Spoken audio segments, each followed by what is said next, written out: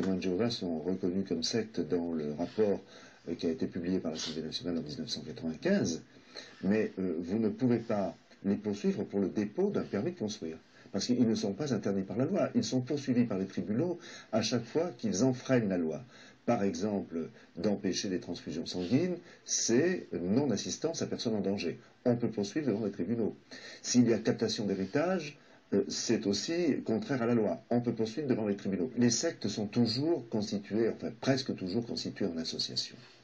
Et généralement d'ailleurs ce qui se passe, c'est que vous avez une association mère qui en principe a assez peu d'activité et avec un certain nombre de satellites autour qui elles, euh, qui eux, ces satellites, mènent des activités souvent euh, qui sont réprouvées par la loi.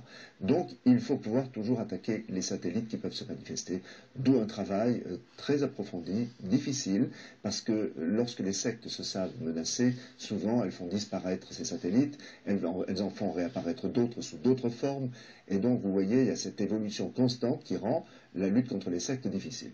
D'autre part, nous avons fait également de la formation vis-à-vis des policiers, des magistrats, vis-à-vis des gendarmes, vis-à-vis des travailleurs sociaux, pour leur expliquer comment se manifestaient les sectes, de façon à ce qu'ils puissent euh, faire preuve d'une très très grande vigilance à chaque fois qu'un phénomène sectaire pouvait euh, survenir. Car ils n'avaient pas cette formation avant et ils ne savaient pas comment traiter les affaires sectaires.